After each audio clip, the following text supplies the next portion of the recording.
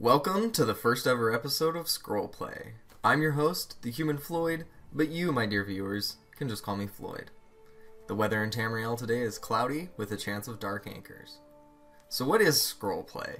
Well, it's a show about role playing in the Elder Scrolls Online. If you don't know what role playing is, or you're new to it, you should check out this video, which is my role playing beginner's guide to the Elder Scrolls Online.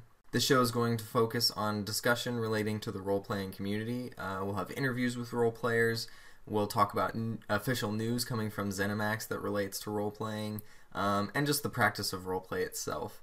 This show's not going to be a super regular thing unless I can get somebody to help me out with the editing and production of the series. I'm a guild leader of a role playing guild myself. That takes up a lot of my free time. Uh, but if somebody out there has uh, Camtasia or Adobe Premiere or something like that and wants to help out with the production, uh, you should definitely hit me up at thehumanfloyd at gmail.com and we can talk about it. So, in today's episode, we are going to be interviewing Halorin, who is the guild leader of a Daggerfall Covenant role playing guild called Prelude. But before the interview, I want to talk to you guys just a little bit about an upcoming role playing event that I'm hosting. The Battle of Khenarthi's Roost is a cross faction roleplay event taking place in two acts. The first act will be on the Ebonheart Pact faction starting at 3 p.m. Eastern Daylight Time on August 3rd. The invading armies of the Ebonheart Loyalists will meet in Sunscale Strand in Shadowfen. The Shadowscales have captured a Dominion vessel which we will board and set sail to Khenarthi's Roost from. There are enemy NPCs on the boat, so that will be a little annoying while we roleplay, but with so many people aboard, I don't think there'll be much of a problem. The second act will take place on the Aldmeri Dominion faction. Ebonheart players who pre ordered will be able to create copies of their characters with a similar name. Those of you who didn't pre order don't have the option to play any race on any faction, so you're encouraged to create Dominion Defenders to fight your Ebonheart Pact friends with. Additionally, several Aldmeri Dominion roleplay guilds will be defending the island. Daggerfall Covenant players and guilds are more than welcome to come along as Khenarthi's Roost Defenders or Pact Raiders. This event will be like an emote fight but on a much larger scale. In order to keep things organized as possible, attackers and defenders will be broken up into smaller, manageable squads. If you are attacking another player, I highly recommend you add attacking name to the end of each of your emotes to help make it clear who is fighting who. And remember, you don't get to decide if another character is wounded, hurt, or dead. That is up to the individual player. There's a lot more information in the link found in the video description. If you're a guild leader who wants to get involved, please post in the thread so we know who to contact with relevant information. Blood for the Pact. So make sure to click the link down in the description for the battle. Uh, it's going to be crazy. Today in the show, we're going to be talking about phasing. If you don't know what phasing is or don't know why it's a problem to role players, you should look at this video right around here somewhere and check it out. It's really short and it just explains the phasing issue. First, here's some footage from QuakeCon that is relevant to this discussion. All right, so T the Khajiit, one of our favorite Khajiit role players, wants to know what do we have planned for role players in the future? Uh, so uh, I, I did mention some things uh, there for role players. You know, I, I think anytime you have emergent gameplay uh, systems where you, have things like uh, thieving and, and you know the, the player guard systems, those are fun.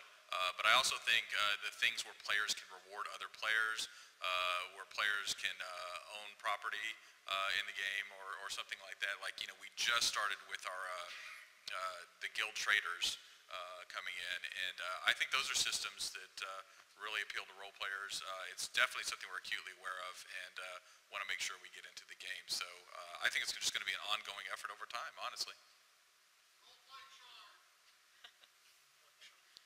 we don't have shards. but I understand. I understand what you're asking for. Absolutely. The guy in the audience shouted roleplay shards. They might not technically have shards, but Sage understood what he meant and acknowledged that and then didn't say anything else. Which is kind of a bad sign. I don't think it means that they don't care about role players or that they don't have any plans for roleplay features at all. I just think it means that there's nothing really in the works for role players right now, or if it is, it's so early on that they don't want to announce it yet because they don't know how it's going to work out. They actually did try to implement roleplay phasing, but they said that it was too much of a load on the mega server. Uh, here's the Reddit quote. Somebody asked if roleplay phasing or tagging was going to be implemented anytime soon, and the response from Paul Sage is This was something we very much wanted to do. However, when we implemented the initial parts of it, it became obvious that it would be detrimental to server performance. Like many things you really want to do as a developer, sometimes things don't work out. That said, we are looking at other ways we can accomplish the same goal. That was two months ago, but two months is really not a whole lot of time when you think about all the stuff that they're working on between adventure zones, the justice system, guild updates, dyes, bug fixes, they've pretty much gotten rid of all the bots in the game. I don't know if you guys have noticed, but that's awesome. There's not a lot of gold farming going on anymore. So, you know, they're busy. They're very busy. But at least two months ago, it didn't sound like they were actually working on anything to fix the phasing. They were talking about ways that they could do it. Hopefully, they've progressed from the discussion stage and they're actually working on something now, but we won't really know until they make an announcement about it. So phasing is a big deal for role players. It it causes a lot of problems for us, but role players have actually been really good about working around it. One of the ways that we've worked around it is by creating these large out of character role playing guilds that people join because you get phased with people who are in your guild. So if you're in a guild with a whole bunch of role players, you're more likely to find random role play is the idea behind it. They also help for coordinating events and stuff like that, and just keeping in touch with the roleplay community. So, someone who has done a lot of work towards negating a lot of the phasing issues is Halorin, the guild leader of Prelude. And we have an interview with him coming up right now. Welcome to the show, Halorin. Uh, let's just have you start out by telling us about the guilds and the roleplay that you're involved in on the Daggerfall Covenant. Thanks for having me. My name is Halorin. I am currently the leader of a guild called the Prelude. I am lead counsel on a IC alliance called the Pride of the Covenant, and I'm one of the officers in the Covenant Collective, the out of character RP guild in the Daggerfall Covenant. I've been RPing for a few years now. Something I really enjoy doing. I also write on occasion, and uh, yeah, Nice. I like hearing about role players that are also writers. You're just sort of always honing your craft while you're playing. Yeah, I actually got into writing because of my role play where um you know, you spend so much time in game talking about your characters and you know, you're in a guild that has a forum site, so it's only natural to start actually writing about things going on in storylines and um my interest in writing kind of grew from that. So, how'd you get your start in role playing then? Years ago, in a game called City of Heroes, there was a guild that I wanted to join called the Urban Legends, and they happened to be a role-playing guild. And I had never really RP'd before. Like I knew what it was, but I just never really engaged it in any consistent, you know, on a regular basis. So my wanting to join this super group because I thought the name was cool is literally what got me into role play and they kind of showed me the ropes and I was really awful at it and I've just progressively gotten better I guess over time.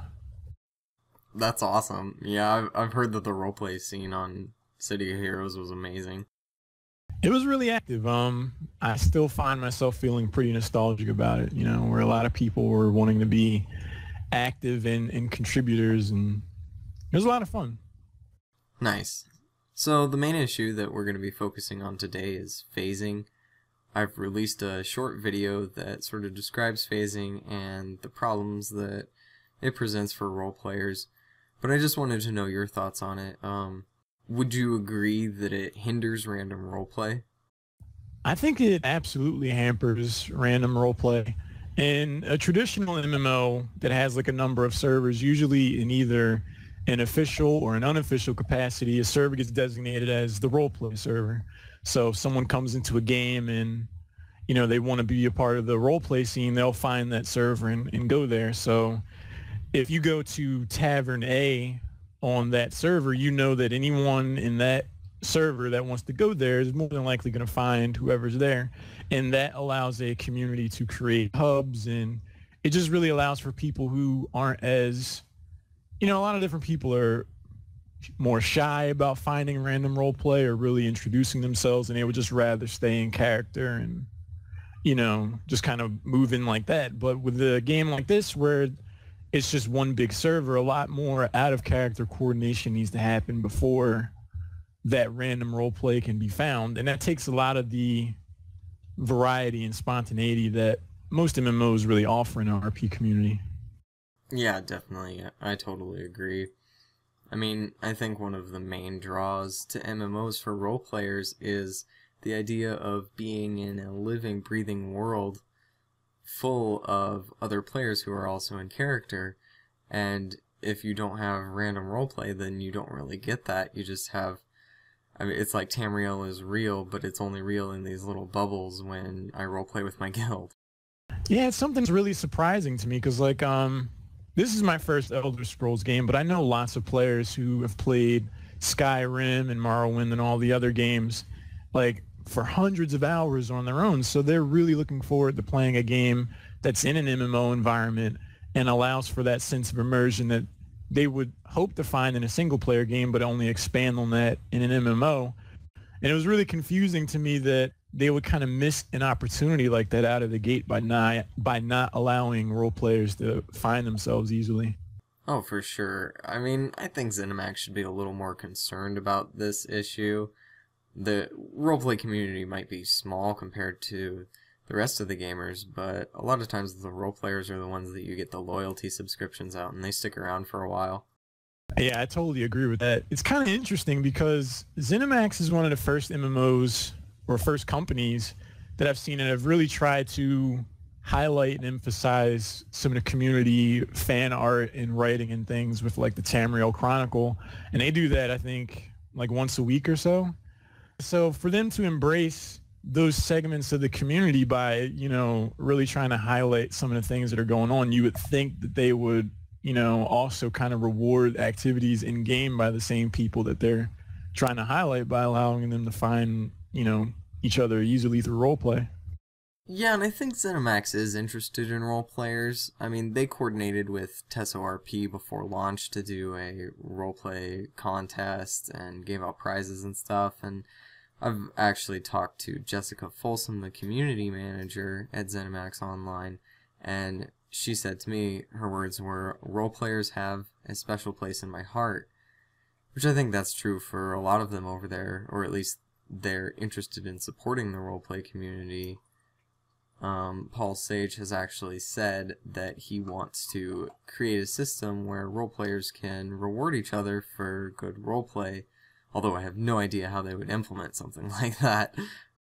I would be pretty impressed if they pulled that off. That's actually news to me and, and pretty encouraging as someone that is trying to establish, you know, a real sense of community in, in, in ESO. Yeah, for sure. I have a quote here from Matt Firor, and this is in response to a question about whether or not roleplay phasing was coming into the game. And he said, this is something we will be working on. No promises, we have a lot to do, but yes, we want to be able to better support role players. Um, I think it probably was said with a lot of sincerity.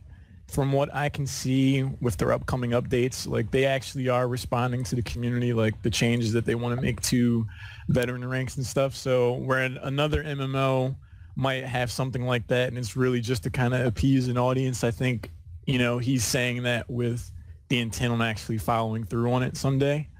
But it's kind of an interesting situation because you release your game, Elder Scrolls Online, in the same window as another game that could also foster an RP community like WildStar. So you really only have a small window to prove to role players like, look, this is a home and this is where you will be considered in our development plan. So that window if it isn't closed already for a lot of people, is steadily closing. So I think it's something they should try to prioritize more than they may currently be doing so.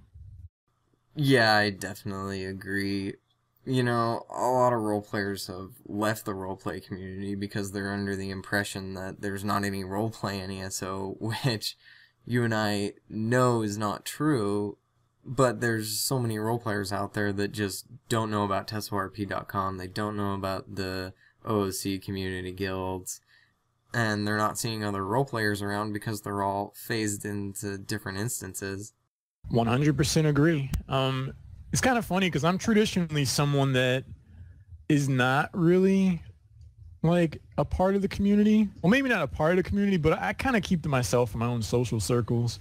And the problems that, you know, SO presents to a, a you know, a casual role player with the instancing and how difficult it is to find role play and the added set of steps and, and commitment that you need to be a part of the community, it really made me want to try to come up with ideas on how I could try to offer solutions to people because, you know, I also complain about those things and they're they're a big issue for me and what I feel could, you know, negatively affect the community in the long run. So I figured, well, if I'm going to complain about it, I may as well try to do something.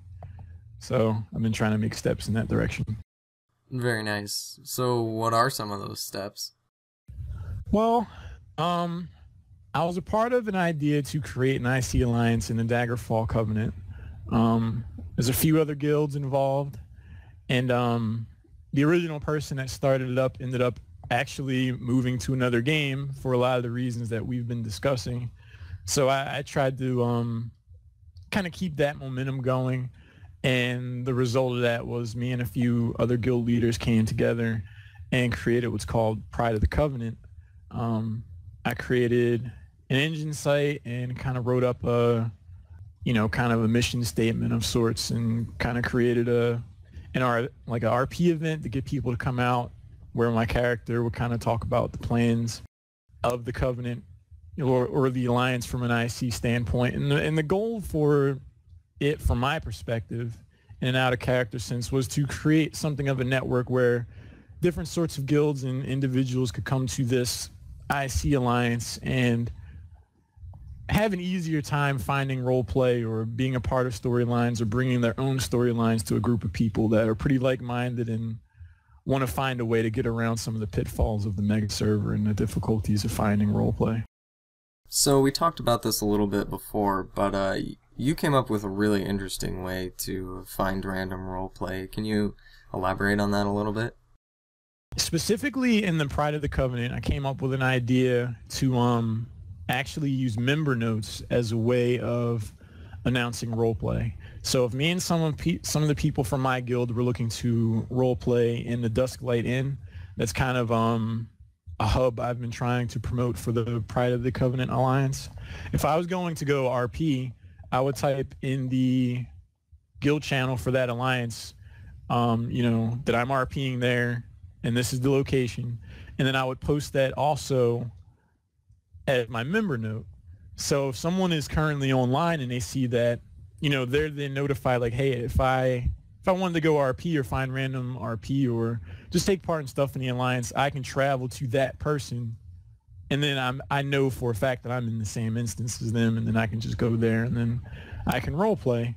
But it, using the member notes also has a benefit for people that log on after that announcement is made because you log on, you look at the roster for Pride of the Covenant, and then you can look at the member notes and say like, oh, this person is RPing here and that person's RPing there. If I wanted to go to those locations, I can just travel to that person and there isn't really a need for a lot of out of character communication because it's all kind of straightforward and understood. So I could just log in, see that someone's at the way Wayrest Inn, and then just travel to them and go there and, and know that whatever role play is going on is happening there. Yeah, I really like that idea. I think that all the OOC phasing guilds should use that. Uh, I'm definitely going to start promoting that method amongst the Ebonheart Roleplay Guild for sure it just seems like the most instant and convenient way to get involved in some quick random roleplay. Well, it's good to hear that you guys are figuring out a way to work around it. I think that the roleplay community has been very resourceful considering our limitations. It's really worked out for us so far. Um, it's been really good for people who are a little more shy about finding random role play, or they would just kind of like to see what's actively going on and then wading in. They can kind of log in, see who's presently role playing or at least advertising that they're role playing, and then just travel to that person and be in the same instance as them and then just kind of show up. And it's pretty similar to experiences in other MMOs where there's just like, you know, a traditional server. Um, it's really worked out for us so far. So, how do you feel about the state of roleplay in the Elder Scrolls Online in general so far? Um, it's interesting to me because I'm generally someone that role plays in a relatively small circle. Um, I like to do storylines with my guild and things like that. And this game is really my first attempt at really trying to put myself out there in a community and involve myself in that capacity. So maybe it's just my newness to that perspective. But um, I actually think people in general could try to be a little more proactive about the RP that they're either seeking or trying to get involved in. Um, I'm no one special by any capacity or means in terms of creating storylines or getting people involved. I just try to say like, hey, I'm I'm doing this over here, and more often than not, people will kind of show up and take part in that. And while that's really great, I would love to see other people do that. It's a really small amount of effort that I think go a long way to creating a sense of community that a lot of people that are either thinking of leaving or have already left were probably looking for. Absolutely. I think the best thing that anyone can do for the roleplay community is aside from just role playing is to make people aware of your role play and your events and your storylines. And then people know that there's stuff going on and that they have prospects, they have options of different storylines that they could get involved in. So, to you role players who are listening to this, if you have role play going on or a storyline, you should announce it on TESO-RP.com. You should send me a message or post it in the rumor mills so that it can get on my Rumors of Tamriel thread. Just do everything you can to spread your roleplay and get more and more people involved. I mean, the more people that play, the bigger the world is and the more immersive it is.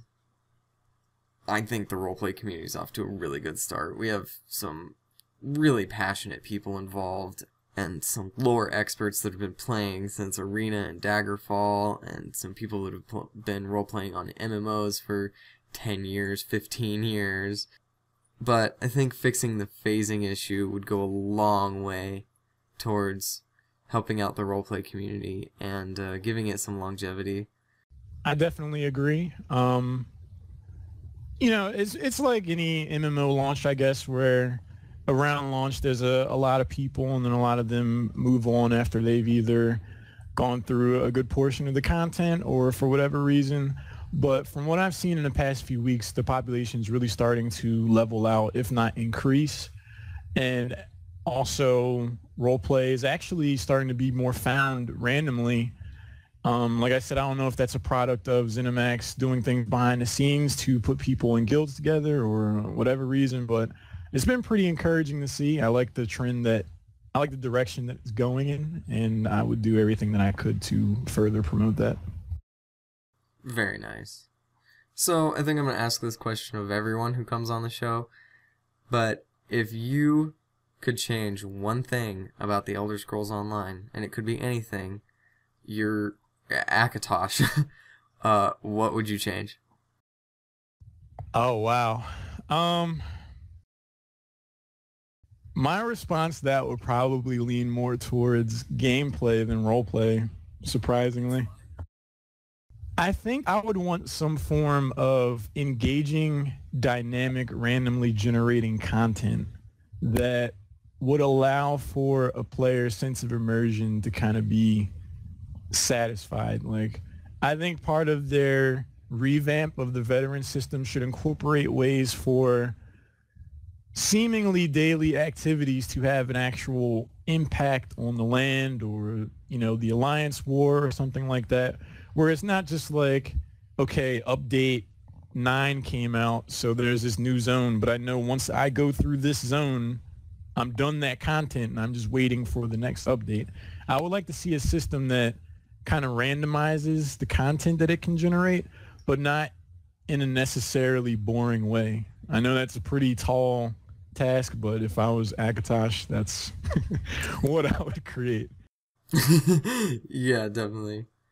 Someone on the uh, RP forums was commenting on those little mini events that you see around the world where two sorcerers are fighting or a merchant is getting robbed by bandits.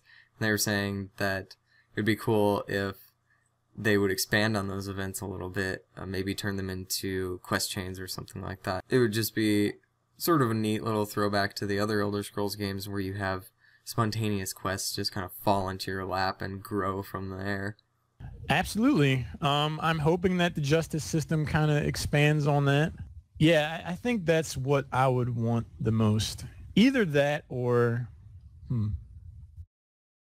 In terms of keeping in, in tune with the overall community in Elder Scrolls games, at least in a PC sense, I know a lot of people make mods and things that really kind of flesh out and expand on games.